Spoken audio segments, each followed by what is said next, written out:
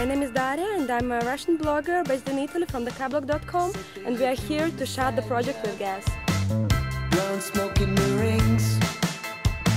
I never pictured them as those kind of people to believe all the things that they say. The say. denim jumpsuit, it's really GUESS, it's really fashion. I love it.